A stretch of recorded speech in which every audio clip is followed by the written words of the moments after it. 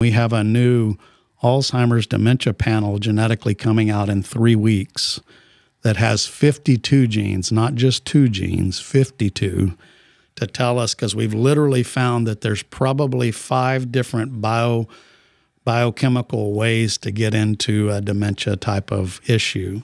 And so that tells us what's issue and how, how we can start to interrupt that process.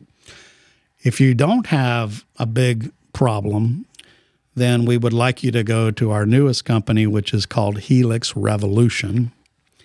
And that is um, basically a direct to public. You basically can order a small panel. We have GI panels, we have mood panels, we have cellular energy and methylation panels. And you order that panel, and I shot a bunch of videos of education on how to read it. We have lots of educational materials. And then we built supplements to actually provide you with what's needed when you find out what you're missing.